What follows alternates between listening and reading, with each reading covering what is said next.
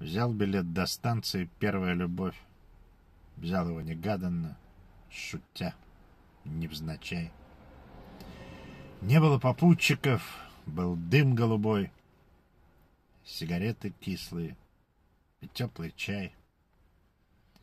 А еще качалась монотонная мгла, а еще задумчиво гудел паровоз. Там на этой станции вершина была, теплая вершина до самых звезд.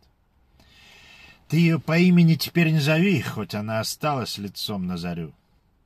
Встал я у подножия первой любви, хоть не дотянусь уже, так посмотрю. Прикоснулся к камню раскаленной рукой, запрокинул голову, торопясь и дрожа. А вершины вроде бы и нет никакой. А она, оказывается, в полэтажа. Погоди, но, может быть, память слаба, снег спадает мудро, широко, тяжело. В слове буквы смерзлись, во фразе слова.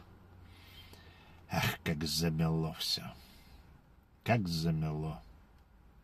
И летел из прошлого пояс слепой, Словно в долгий обморок в метели нырял.